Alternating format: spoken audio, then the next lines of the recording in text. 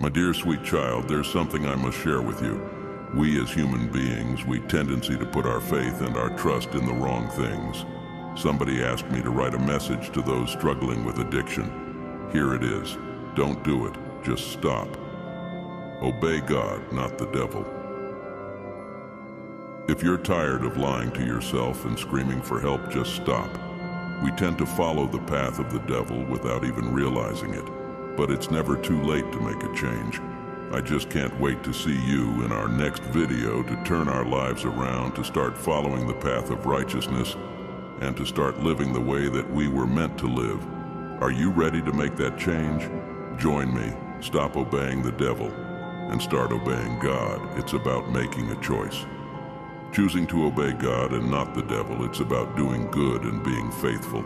It's about choosing the right path and being rewarded for our obedience. This is the key to success. Please, please, I know I don't have to remind you, but I'm sorry, don't forget to like and share this important informant with someone who needs it.